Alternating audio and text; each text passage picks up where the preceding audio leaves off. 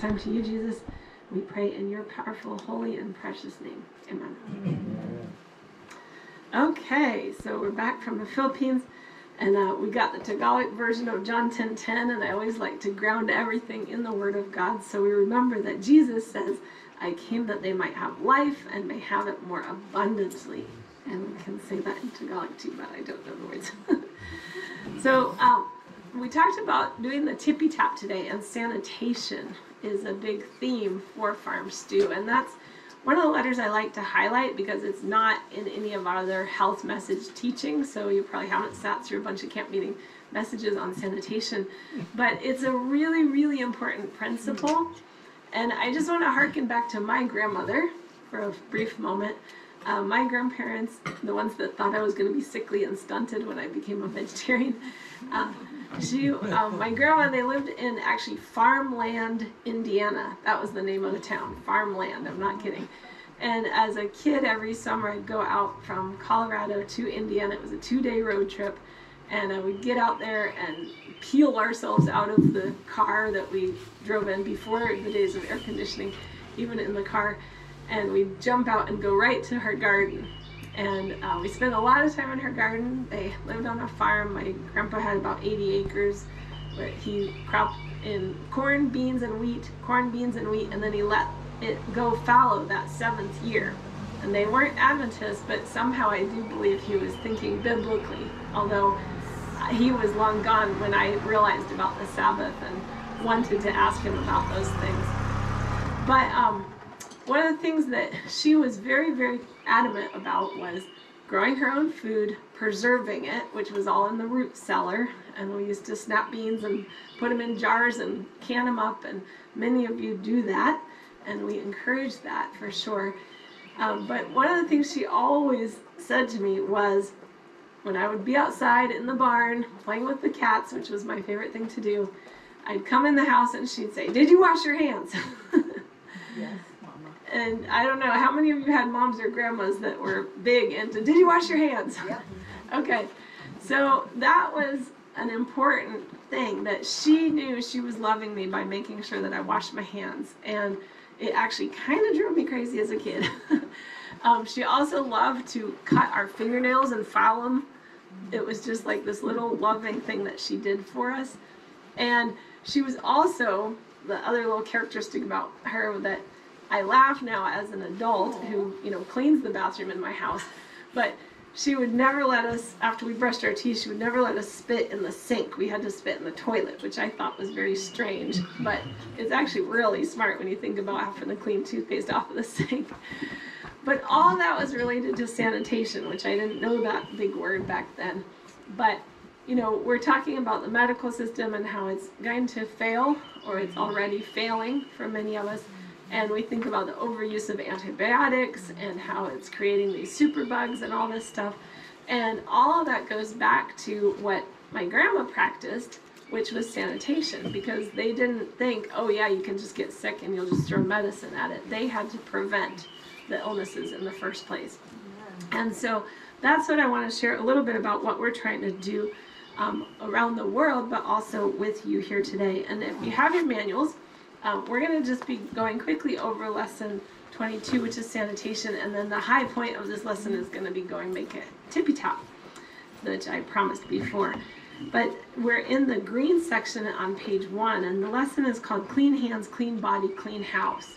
And you know, we may not think that's so important, but really, the World Health Organization says that 80% of diseases, not chronic diseases, but acute diseases, can be prevented with clean hands. And we saw even during this COVID craziness, you know, the put the masks on and like all these other diseases suddenly didn't exist. Now we know that was all a lot of it political and who knows what to believe of any of it. But we know that, you know, part of that is just they were trying to keep people from touching their mouth and touching their nose and then putting it on their hands and then having their hands you're shaking with others. And no matter how you feel about masks, I don't think any of us liked it. But there was a lot less of that touching going on during those terrible times. People were probably getting sick breathing their own fumes, but that's another story. Um, the, so the first question is why to be clean? And, um, you know, when the people of Israel were taken out of Egypt and brought into the desert, God gave them very, very clear sanitation practices. And sometimes we forget about what an orderly God God really is. And he said in Numbers, Do not defile the land where you live and where I dwell, for I, the Lord, dwell among the Israelites. So God is not really feeling welcomed in a place where there's just messiness or uncleanliness. Um, he he wants the land not to be defiled, and and he actually specifically talks about human defecation. Even I don't know if you know the verse in Leviticus where it's talking about when you have to defecate that you need to go bury it and cover it. Well, you know, we don't think about that because we all have running water and toilets, but like you said, we never know when that's going to stop. Just the basic practice of knowing that defecation has to be buried is a really important health habit that God made very, very clear in the Bible. Mm-hmm. Sanitation, a lack thereof, can lead to all sorts of things, as you might imagine. You know, fleas and parasites and bugs and who knows what else creepy crawly is going to get on you and in you, and then you can pass it to others very easily. And really, the best remedy for all sanitation related diseases is clean water. And so we think about water for, you know, hydration, but we also need to think of it for cleanliness. So there's really um, the, there's no better medicine than clean water. And often when I'm sharing this talk, I, I say, you know, when you when you took a shower this morning, and most people in the developing world are pouring something over their head out of a cup or something, I said, "Did did you pour coffee on your head?" and you were like, "No." did you pour Coca Cola or or some yellow or orange drink or pink drink? No, you know everybody only puts water on their head and that's a really important thing to do. So, you know, why are we putting all those colored drinks and toxic things inside if we want to clean the inside of our body as well? So that's just a simple, simple way to, to talk about drinking water and how important it is. If we believe in cleanliness on the outside, we want to be clean on the inside too. Of course, that does require, this is something I think we all know, but really, my grandma used to heat up the water and wash with hot water. Again, when you're not eating meat, your dangers are a little bit less, and the temperatures you can kill the organisms are, are lower, so it's a little less critical. And a lot of us have dishwashers and that kind of thing that heats it up real hot. But um, yeah, I don't use them either, and so you really want to have it out in the fresh air and make sure these things are drying in a very cleanly way. So the clean house um, is really welcoming of Jesus. And I think that's something that we can aspire to is like having a home that shows order, shows cleanliness, and shows that welcomeness to the Holy Spirit. And it's interesting, uh, the verses, if you look in Leviticus about where it's talking about that defecation verse that we talked about, it actually, right before it says, is because God is holy, holy, holy. And so there's a connection between God's presence residing with a people and in a home and the cleanliness and order of that home.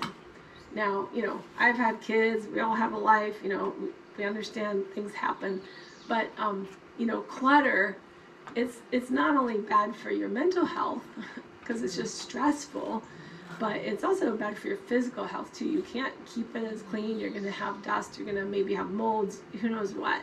So really having that cleanly home and then even the landscaping like with plants and everything like that. I mean, they've done research that, you know, trees in a neighborhood, just having beautiful trees, it can actually increase the health status by like a whole class, economic class, because, um, you know, generally people of a higher class have better health. And just the trees can make that bump up in and of itself. So when we think about, you know, where this place is right here. It's like, wow, there's no reason we can't have really healthy, abundant lives surrounded by trees. But um, I mentioned earlier, you know, there may be a time soon where garbage collection doesn't happen. Um, and so this is just one of the standards in international development. We, instead of having the trash just piled up somewhere where the rain is going to hit it and that water is going to go everywhere, really digging a hole and burying it and burying it at least 20 to 100 meters from the home and at least 30 meters from any water source. and those are just basic principles to like keep you safe um, because you never know what's going to be leaching out of the trash. And this is a huge deal in a lot of countries you go to. You just see trash everywhere, and it's a it's a basic principle that it's actually been transforming a lot of communities where farm stew is working because suddenly they're not covered in trash. George. How deep is that? Um, generally, I mean, it depends on the the soil, how deep you can get, but just it really doesn't need that much ground cover afterwards. Just you know, you're gonna fill it in and it's gonna go up. So probably a meter or two down if you can get it down. If you're on rock, you know, you might need to dig, dig more of them, but more shallow. It's an important principle, and you know, honestly, it's less than ideal. You know, hopefully you're not producing a lot of trash, but we do produce trash. That's reality, you know. So what to do with it? Starry? Um, yeah, I, when you were talking about all this, this is kind of bringing back uh, to my life right now. Uh, we think about these things as being third world countries, right? Mhm. And so I'm living here in Tennessee in kind of a third world condition because I have no running water. Like, like, I mean, I have water, but I have no, um, I'm living in an RV that doesn't have any running water. Um, uh, the I do my dishes outside, so I don't have hot water, and I don't have a place to uh, build a fire right now. So what I've been doing is um, I use a very special hose that is uh, for um, drinkable, potable water.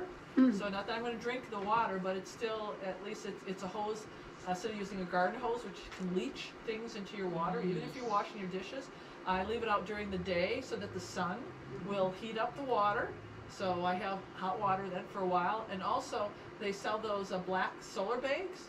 So when I used to live off the grid, and, and, and, and I don't have any now, but I hopefully will get some, you can use that for water, washing. So if you don't have a source of heat, so there's always backup plans. I use the sun for a lot of things. And the same thing, like I have um, food, uh, and I've got a place to dispose, but I compost. I don't like mixing my my compost, my, my edibles, you know, what I just ate, with my regular garbage because it just makes a complete mess, especially with the weather here. And so I take my other garbage, they, they do have a dumpster, but I take my compost, and this is really important because uh, you need to get it away from your house too, the compost pile.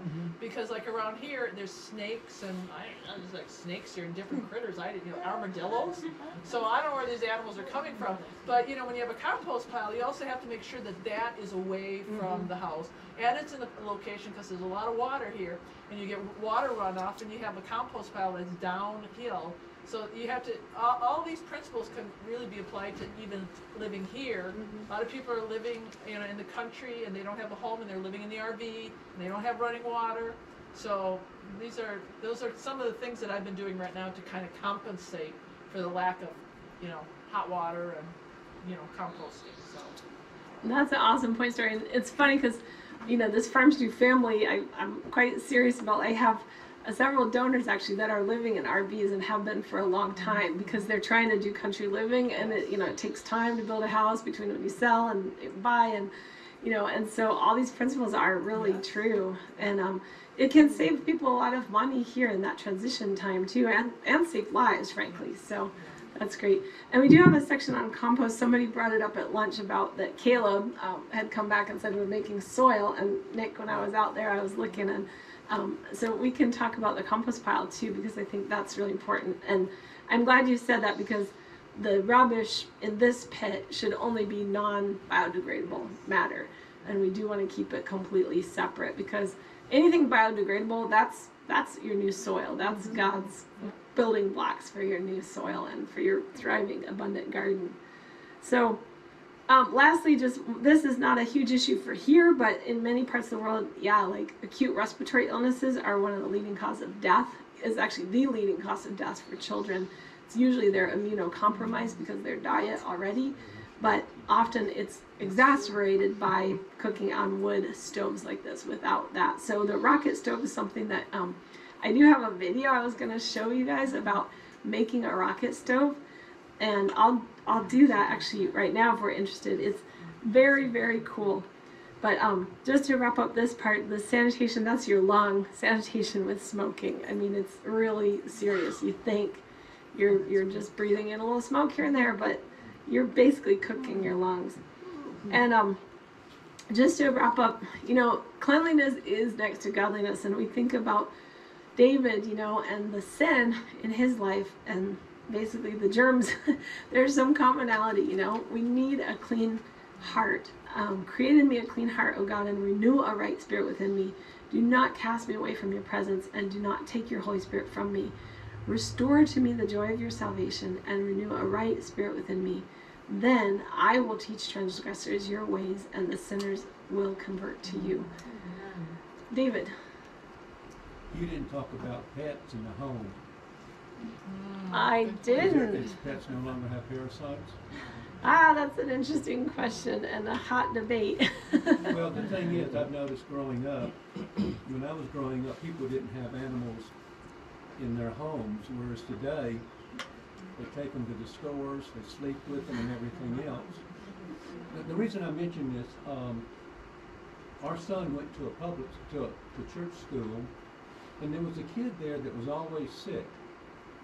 And we kind of noticed that he had all of these different types of animals in his bedroom, you know, snakes and, and all the lizards and so on. mm, And we kind of look at that, that did these animals have something that caused him to be severely sick?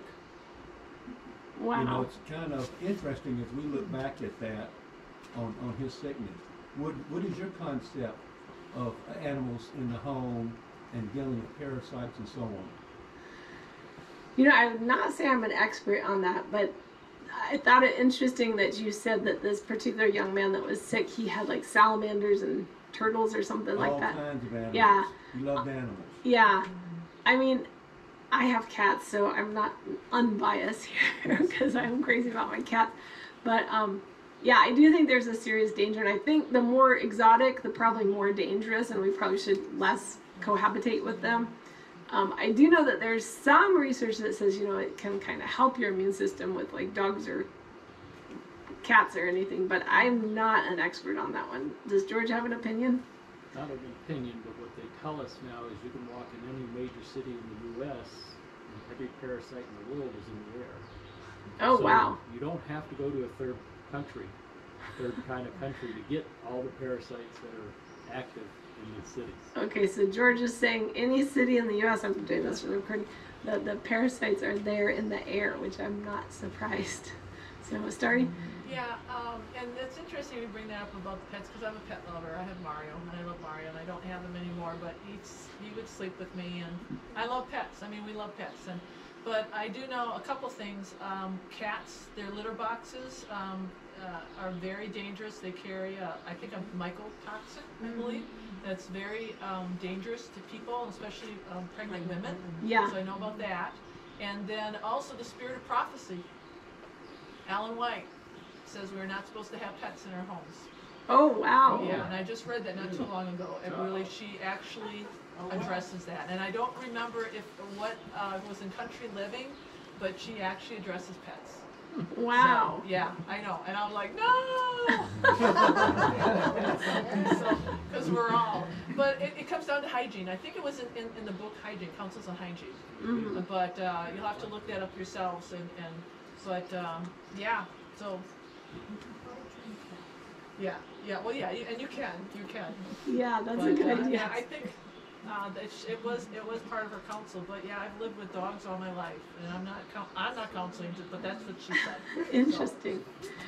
Well, I wanted to. Um, did anybody have any more comments on the sanitation? And then I was gonna um, play the rocket stove video that I have because I that came up earlier, and I thought I really wanted to share that with, as a good conclusion to this lesson.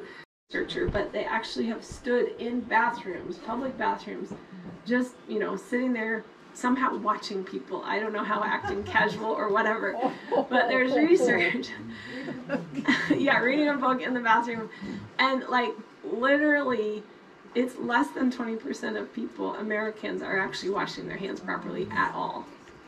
And so you think about, oh, you know, this is for elsewhere. No, it's actually for here too. Hmm. And I think things have probably gotten maybe a little bit better since COVID hmm. started. People maybe their awareness is a little bit more heightened, but we know how easy it is to take a habit, you know, get it in the right habit and then lose it just as quickly as we got it, right? So hmm. the habit of hand washing is so critical. And one of the things to teach is just how to do it. And, you know, in Leviticus, um, before there was ever a microscope or there was ever any idea of like germ theory or microbes or anything, um, the Bible told us in Leviticus 15 13 that you need to actually wash your hands with running water. Now we know this, it's, it's something, you know, we have the privilege of a tap, but many places people just bring a bowl and they just all put their hands in the bowl. And there's ways of, um, I don't know if you know the sparkly, like little sprinkle, sparkly stuff that you can put for like little art projects for kids. There's a demonstration that you can do that's really fun where you cover your hands in the sparkly stuff and then um, show, dip it in the bowl while the sparkles go out in the water.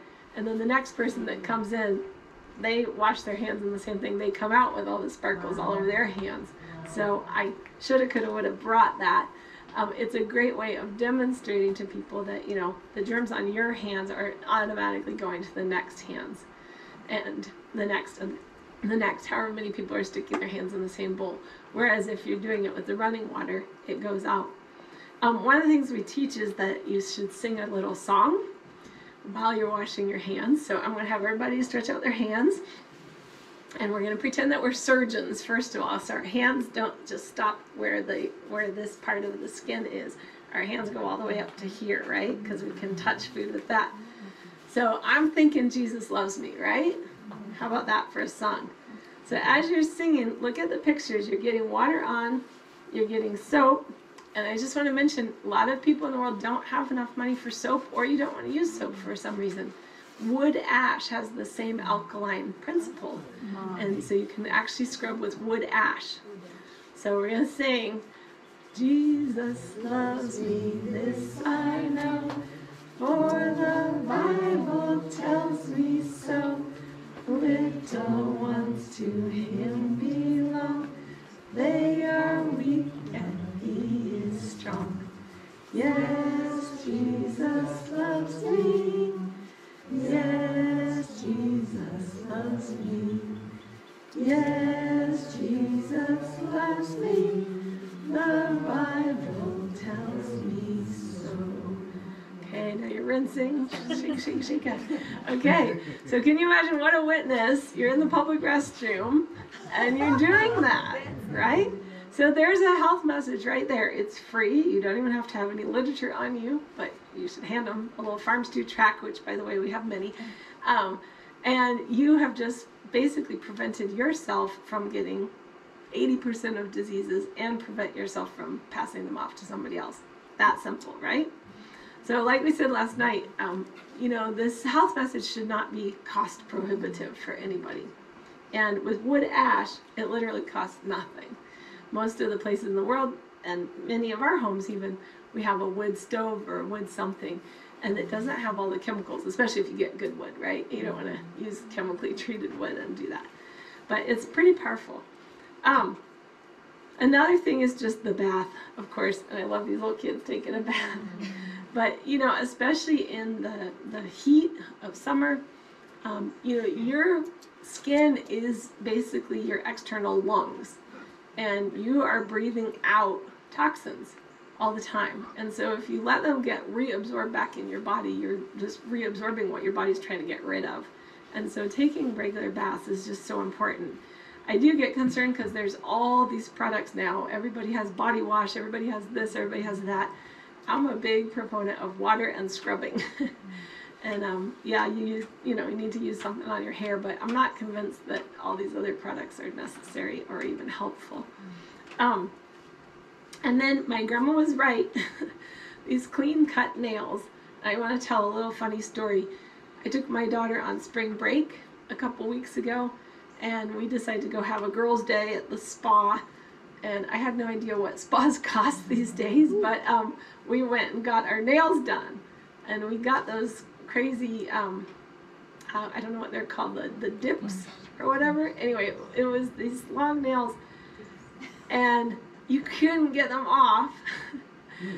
and and it was like I just saw they got longer and I just saw the dirt under them and I couldn't get under them and clean. And this is common and I hope I'm not offending anybody but it's like normal. Like in some circles if you're a woman and you don't have your nails done like that you know you're not really ladylike.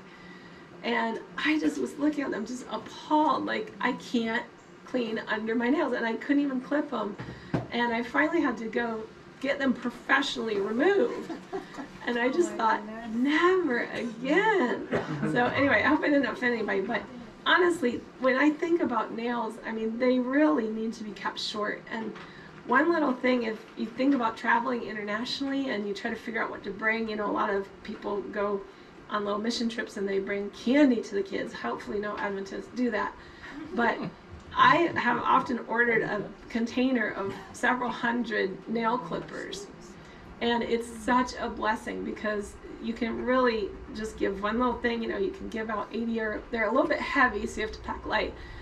But um, the other alternative that people are using is razor blades and as you can Oh imagine my. it's yeah they just use raw razor blades and you can imagine especially the little ones get cut and then that leads to other things. So this is a real beautiful gift and you you know not only just they get something happy but it lasts for a long time and and it will help their health and well-being. So a little tip.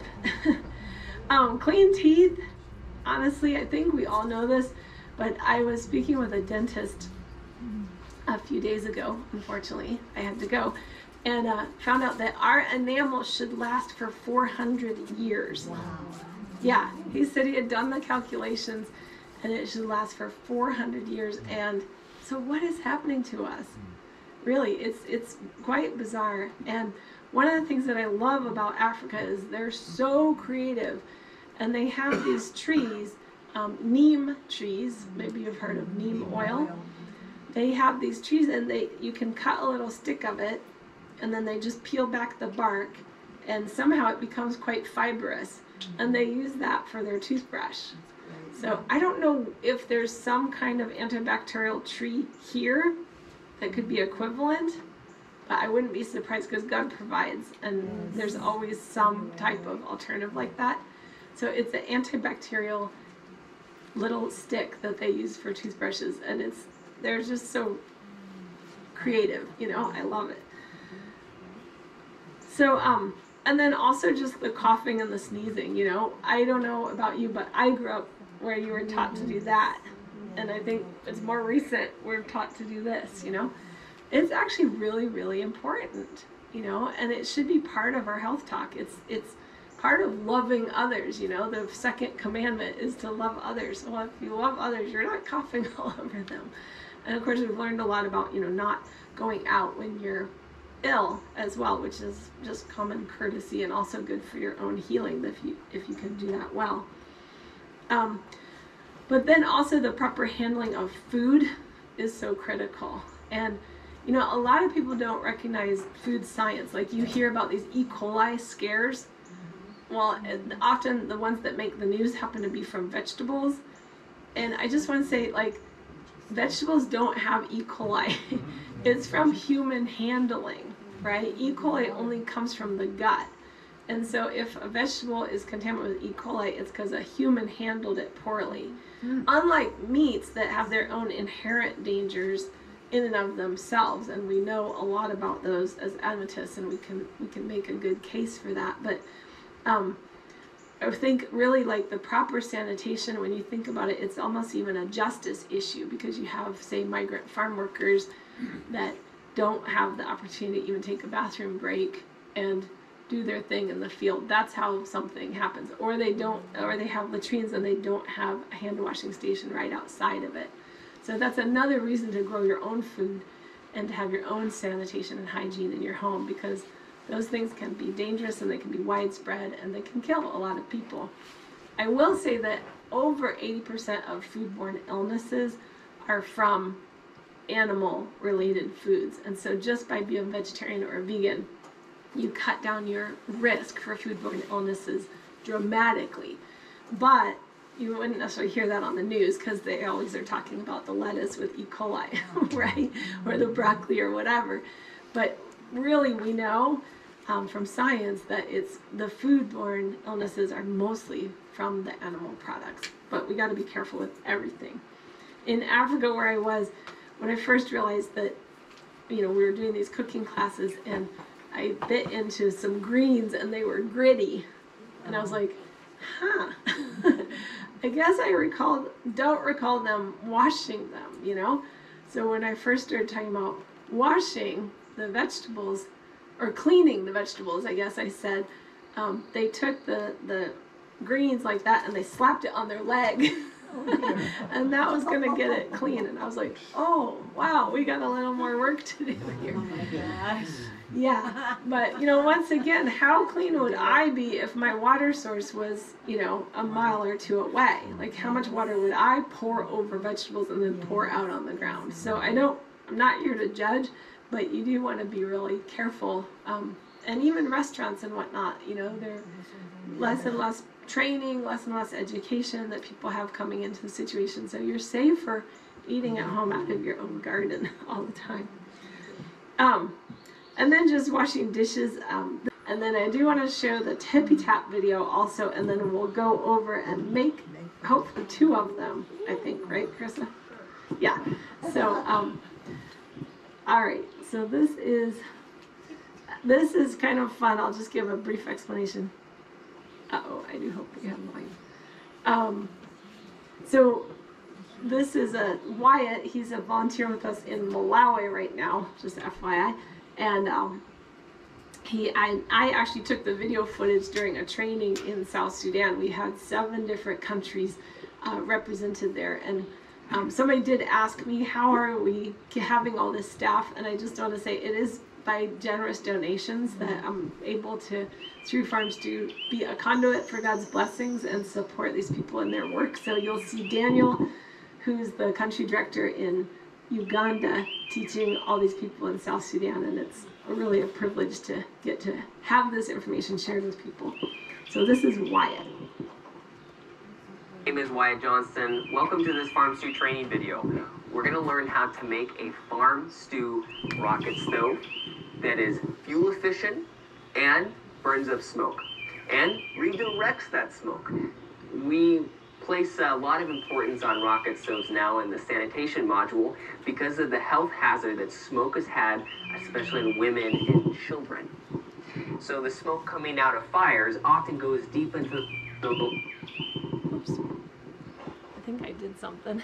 lungs, and like the walls of a cooking shack that are black, it makes the walls of the lungs black in both the women and children around that fire. We want to find a way to make cooking more efficient, to save money, less wood, less charcoal, and to redirect and burn up that smoke so it doesn't go into the lungs of the people we care about. So, in Juba, South Sudan, our Farm Stew teams had a conference and a training where they built a model rocket stove, and I want to walk you through that just briefly here over the next few minutes. Let's see how they did it. To get started, one of the first things we need to do is to collect termite mound soil. The soil from these mounds is sticky and almost thicker than clay.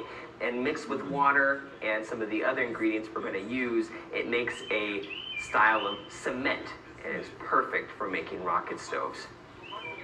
This termite soil, it needs to be pounded. It'll stick in large clods together. However, to make it into that smooth, muddy cement, we need to break it down. So use sticks, hose, and shovels to pound that soil into a powder.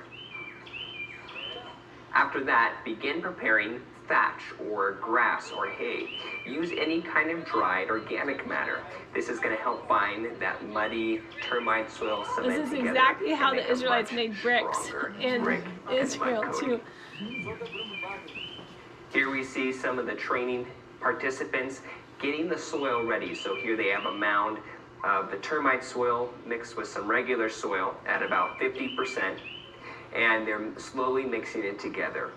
However, soon they're going to be mixing it together with their feet. This is a fun exercise, and everyone can participate. So take your shoes off, take your socks off, roll up your pants. That is a guy, a Dinka from South. Sudan. His tribe. They're Now very that we have tall. our mud prepared, let's talk about dimensions. This stove will be 60 centimeters wide by 100 centimeters long and 60 centimeters in height. All of these dimensions are from outside to outside. As we're looking at the inside of the rocket stove, in the middle is a passing chamber for heat and air. This passing chamber can be created by making a bridge with a few bricks and then overlaying with mud. It can also be made using sticks. Now, if you are using sticks, keep in mind when a fire is going, those sticks will burn. So, if using sticks, use plenty of mud in place of those bricks that would make that bridge. The mud will stand if it is made correctly and it is strong. Continue to plaster your rocket stove until you can't see any brick. And remember, the more plaster you add, the better insulation your oven will have. Let's see what the next directions are from Daniel Our potato leaves, are you seeing? They were potato leaves, but now if I just show you like this, you may not know. Take your crushed sweet potato leaves and put them into a bucket of water and make a really thick green slurry. The more sweet potato leaves you have, the better. Now take your sweet potato leaf slurry and liberally apply it to your mud cooking stove. Use your hands to work it into all the different cracks and edges. You want your stove to look nice and smooth, and this sweet potato slurry is going to help you do that.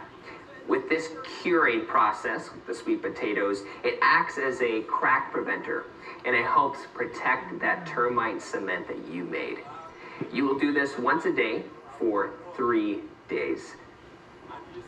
As you're molding the rocket stove, make sure to put a circular ventilation shaft at the bottom left side of the rocket stove. This will help smoke escape not out of the stove tops, but out of the side, away from the person cooking. Thank you for joining us for this training video. When you're making your rocket stove, send us feedback, videos, photos. We want to see what you're doing. We hope this will bless you, your family, and your entire community. So that's our rocket stove. Hey, my, And um, we'll probably we're gonna make one in Florida. We didn't have time today because we just had this one little chunk of a day, but uh, we'll make one in the training in Florida. We're gonna be gathering for three days right before ASI National, just an hour south of Orlando. We did that last year. Chris and went, so we're gonna be excited. And I think Chris and his crew are coming. So We do have a presentation on how to make a rocket stove here on the twenty-sixth of June. oh really? It's scheduled. Oh, that's awesome. It's been scheduled four times, but it's scheduled. So we'll see if we, see how they do it different if they do it. That was wonderful. But that is a good, that's my first introduction to That's wonderful. what a rocket stove is. Yeah, I was really excited. The guy Daniel in the blue shirt, he uh, is actually a graduate of Bugema University, and he studied what we would call international development, but they just call it development because they're in the country that needs development. So he had a whole class in appropriate technology, and uh, I was thinking before that. You know, we weren't at the place where we could afford to start teaching these stoves, but it's been wearing on my heart because we do the cooking classes, and you're always like your eyes are burning, and it's just kind of miserable. And then when he came up with that termite mound thing, and there's termite mounds all over the place, I'm not sure what you could use here if there's something you could use in place. But honestly, we could probably afford a little bit of concrete, and that's what it would, you know, take and We substitute. have red clay everywhere. I'm sure that's where you just fine. It would probably be suffice. Yeah, that'll be interesting if you can do it. Yes. I was gonna ask approximately how long would it take to make a rocket stove? This display took us a couple of hours, but we had, you know, everything together and everything. But like they were, you know, going and getting the grasses and going and getting the mud and everything like that. So it, it took some time. But uh, yeah, and they even just the the wire mesh. I mean, that was something they just found on the church headquarters. We were actually at the church headquarters in in South Sudan, in the city of Juba, and um, yeah, it was really exciting because I actually didn't know. I mean, I've seen them before, but I hadn't been part of the process before. And um, it was just really cool to see everybody coming alive. And, and the sweet potato leaf thing, I did not know that. And I was like, what are they going to do with the sweet potato leaves? And yeah, it was like this very um, just slimy, slurry kind of thing. And apparently, yeah, it makes the concrete not crack at all and strengthens it. It's almost like a glaze. It is. It's like a glaze, exactly. Nature, God's glaze. Yeah. Exactly. Yeah, I saw sweet potatoes over in your garden over there. So, anyway, So it takes three days to glaze it. How long does it cure? Does it take a week or something of burning it? I mean, it really just depends on how intense the sun is. You, they do encourage you to make these not in the direct sunlight as much as possible. You know, like maybe on the north side of the house or something like that, because I think it just the sun is so intense in those places. Nobody wants to cook in the sun anyway. So, yeah. But honestly, that that smoke breathing. I mean, when I realized how inefficient, I mean, how efficiently and inexpensively we could do this, it's like, okay, we got to have all of our teams everywhere be training on these because the alternative is just three rocks, and they just are constantly feeding it fire. Um, another thing that's in here is we call it a fireless cooker, and that's another thing that we do to prevent uh, the the use of firewood and reduce the smoke inhalation. And basically, all that is is some type of thermal capture of heat. And I'm trying to find, Chris, do you think you could try to find the page the fireless cooker's on? Actually, I just found it. Yay. Um, page 11 in the green. It's right after the rocket stove, which we just have a very short paragraph about rocket stoves there and a picture of it. But on page 11 in the green, the fireless cooker, that's something that I did when I first got over there in 2015. I had learned about it from another woman who had gone and done trainings and cooking classes in Africa. It's basically like you're building a gigantic bird's nest, and it's just with any dried plant material pushed into any container that's the size of a, a pot where there's like a hole for the eggs that would be the size of the pot. And one thing they really want to encourage is like the thicker the pot that you cook with, the more thermal heat it's gonna retain. And what's really amazing is a lot of these women in countries and you know us here too, like if we didn't have power, we would have to be just standing by the stove, making, keeping the food hot, keeping the food, and you're always putting wood in, which often they're walking for hours for wood too. Um, with this, they can put it in this container, they cover it, put like some type of cloth or something so that no dirt or anything gets in from the plant matter. And then you can even put it in the sun if the sun is out, and that'll keep the food cooking for several hours and hot for several more hours. And so suddenly you've just freed up hours and hours in somebody's day. I mean, that's a real blessing to people. And you can see them putting it in there on the bottom of page 11. And then there's something on the bottom of page 12 there called the Wonder Bag. And that's a group, speaking of enterprise, you talked about what are enterprises. Um, that's just a sort of commercialized version of the fireless cooker. And so that's something to think about even here, you know. How do people keep their food warm? You know, as, as energy gets more scarce or more expensive or whatever, um, putting your food in something like that to keep it warm is would work well. What's your philosophy about raw food eating?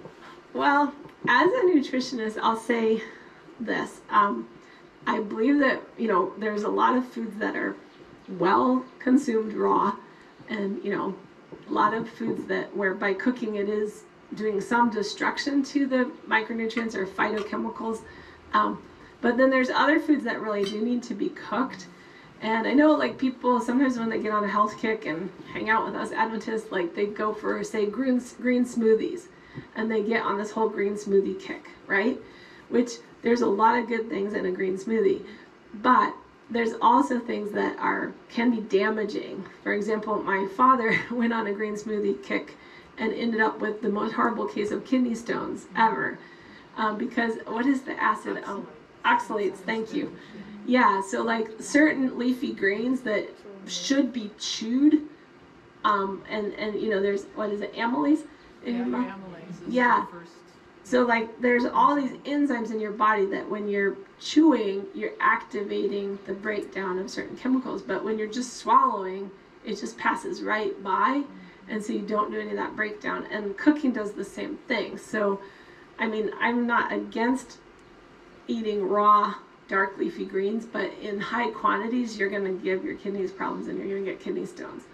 And I've actually, I always try to give that warning to people because, you know, honestly, my dad thought he was going to die from these things, and it's not uncommon. The oxalates are very serious. So I think, you know, the whole sort of moderation in, in things and, you know, is our temperance message. You know, moderation in good things, total abstinence from things that are harmful.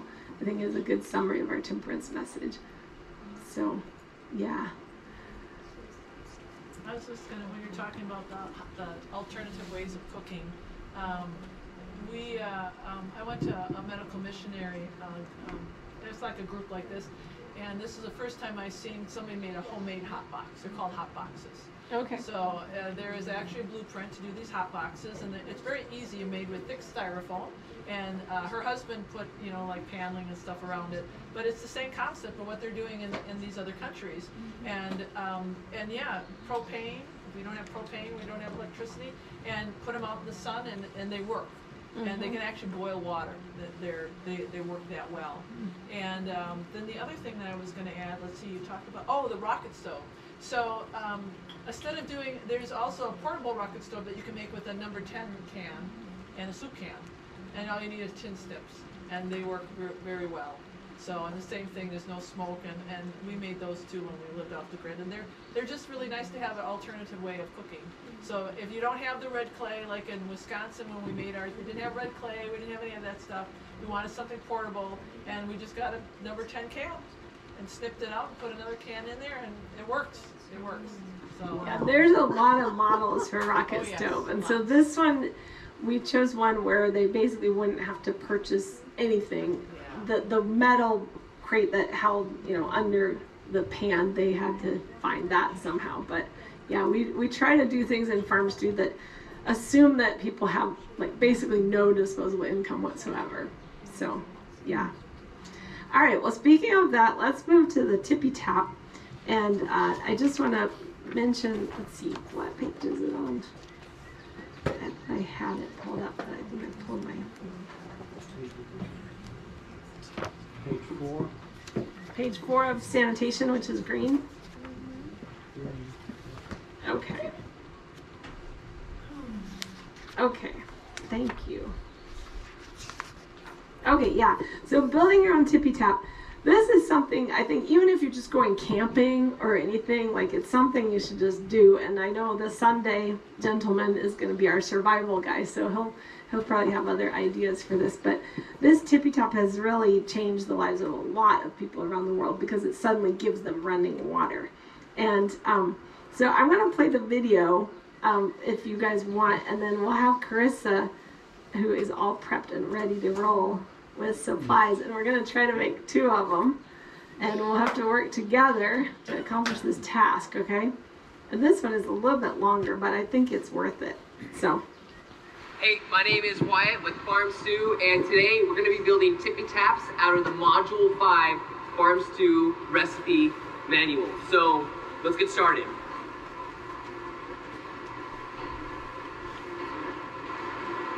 First thing what we're going to do is we're going to get three sticks. This is going to be an in-ground tippy tap, so there are mobile tippy taps that you can move around. However, these will be stuck in place with these two sticks into the ground.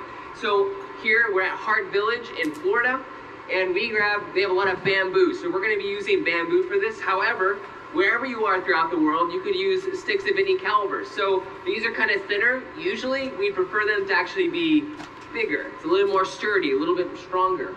And so I'm actually gonna also pound these in the ground because if you look, we're in some nice, really soft sand. So it's nice and easy to dig it down. So what I'm gonna do is use a custom-made mallet. Can't find this at Home Depot. We're gonna take this and we're gonna start pounding it in the ground. Now, if you're somewhere else, we also you can also use a shovel to dig down. You can use gravel to help support it. It just depends on what's needed in your environment and in your village and community.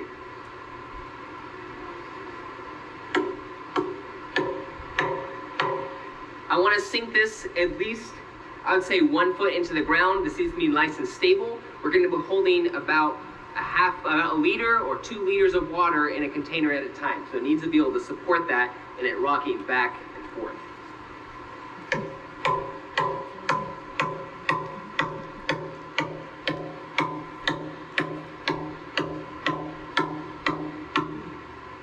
So now we're going to look at the distance between the two sticks that we're going to put here. I would say make it about one meter apart. You want you want it to be wide enough where you can fit your whole body in, but not too narrow because that might make it difficult to use. So let's go for one meter. You can play around with the size and see what you like as you're making these.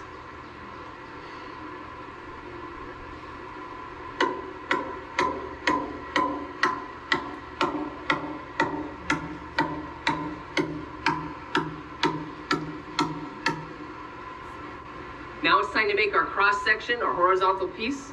So we're gonna attach this right here, right behind these. And where it since we don't have a Y, a branch that has a Y in it, you would usually rest that in right here. However, because we don't have that, we're gonna use some twine, rope, string, vines, whatever you have to tie around it.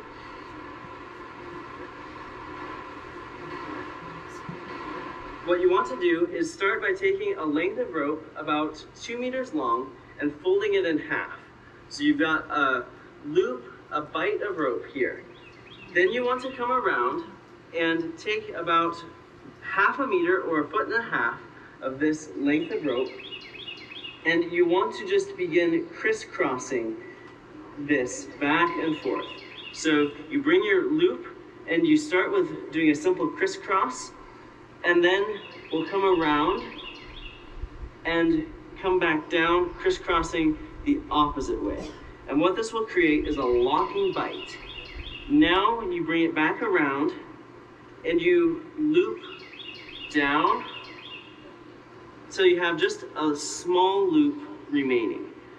Then you feed both ends of the rope through and you snug this back and around until that is very tight.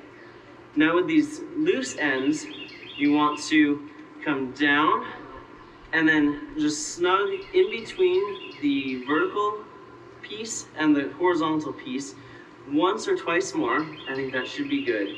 And then you separate your rope, bring it on top, and you want to just tie a very simple square knot to start. And that is an easy one to hold your position. You snug that down. And to make sure it doesn't loosen, you put a finger on top. Then you tie another square knot, which is a little tricky with one hand, um, but not too bad. So then you want to just have someone help you by holding this rope. And then you just tighten it down like that. And that creates a self-locking bond so that the harder you push down, the tighter the knot becomes. So that's another method to creating tippy tap when you only have straight sticks without a V in top to rest the horizontal stick. As you're making this, you want to make sure that your stick in the middle is horizontal. Let's see if this is horizontal because what's going to happen is there's going to be a string attaching a jug of water, and we don't want that string to be sliding back and forth between the two. So mine looks pretty good. In fact, I do want to lower this side just a little bit.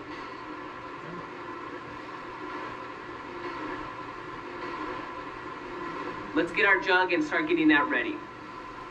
So right off to the side here, I have an old bleach jug. What I want to do is get this nice and washed out. You don't have to use uh, something meant for water. This is for washing hands, but we do need it to be clean. So this gallon of bleach or this however large amount of volume with this bleach was, it was washed out.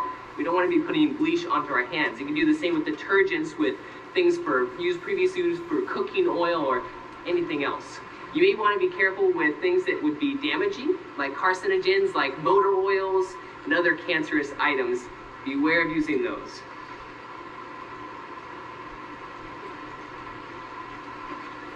We're going to take our jug, we're going to tie around a three foot piece of rope, a little string of rope or vine, around the handle like so. so I'm going to put this in here. Now, if you want to watch what I'm doing here, I've doubled the rope. I'm just going to pass it through and let it catch right there. Now we're going to take that and we're going to tie it of our stick that's going horizontally.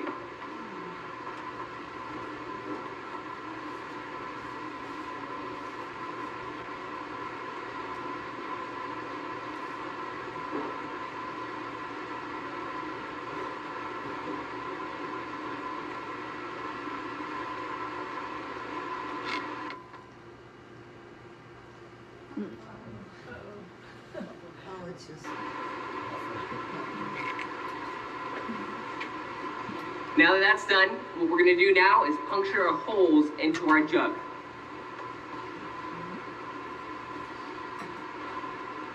Makes sense to do before you hang it, actually. Here, we have a lighter. However, you may have matches where you are, uh, or a campfire, or just a fire pit in general. You need a source of heat is recommended, but not necessary. We're gonna want to use a rounded tip to poke into this bottle, like let's say a nail or a sharp pen. For here, we only had a screwdriver. This is a Phillips screwdriver. It's pretty dull, but when we heat this up, it should be able to puncture, and it's got rivets, we should be able to move it around. However, wouldn't recommend using this. A nail would be much better. We're gonna make the first puncture. This is gonna allow air to escape when we're tipping this over, the tippy tap.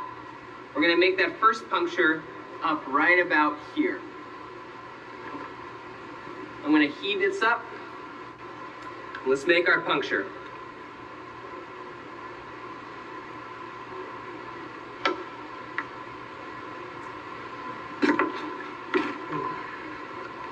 Okay, now we got our air hole in, we're gonna make the second hole. This time, it's gonna be for the water that's gonna come out and come onto our hand. So we're making this second hole. We wanna make sure it's gonna be towards the side. So what's gonna be happening is, we're gonna connect the string right here. It's gonna bring it down. We're gonna have a foot pedal. We're gonna build that in a second.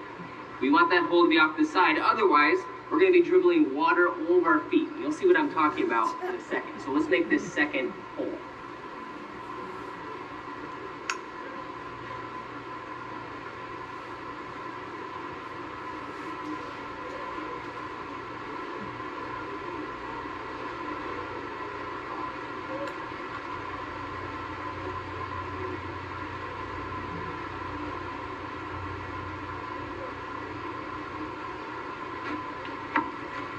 So not only did I make it off to the side so that our feet won't be dribbled on by the water coming out, but I also made it low and towards the end because this is going to be tipped up. You watch the water come out right now. It's going to be tipped up. The water is going to come pouring out. So next, let's get the string. Let's tie some string around here and get our foot pedal set up.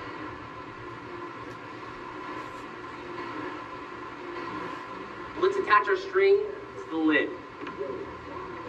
I'm gonna, so some bottles this may or may not work. Our concern is that this lid might pop off, but since this is a pretty well locking lid, we're gonna, it's okay to put it around the spout here.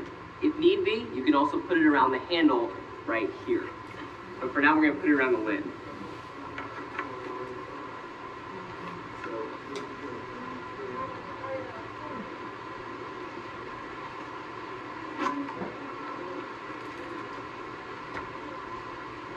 After tying it to our lid, we're gonna bring it down to our foot pedal. I would say make your foot pedal about at least a half meter long.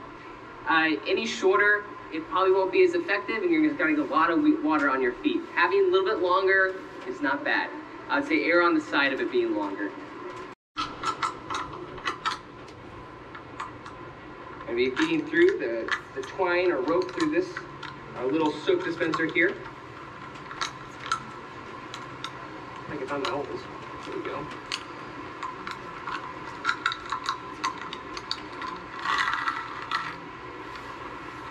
Now that I have my rope fed through, we're gonna attach it to our tippy tap.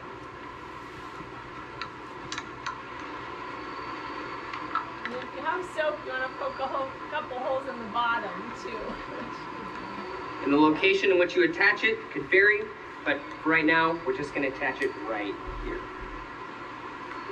And you'll notice on this tippy tap we built, there's all kinds of twine loose. If you look right here, look at all this, look at this stuff right here. Ideally, you wanna cut this off. It's loose and get in the way, it can easily be pulled and untied. Right now, we're just leaving it, we're just making a model. We're going to stick our soap here inside our little soap holder. How convenient.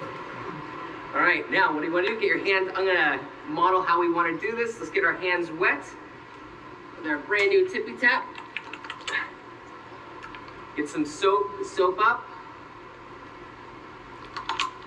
What is that, 20 seconds of washing, I believe? Get under the nails, in between the hands, all around the backside of the hands. Making sure I get all underneath the nails.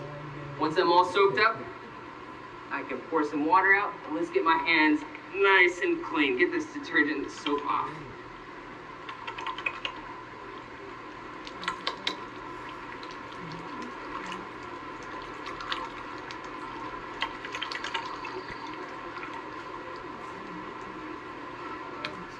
Maybe you want to attach a towel to your tippy tap. That's up to you. We don't have one for today, but it might be a nice accessory to have.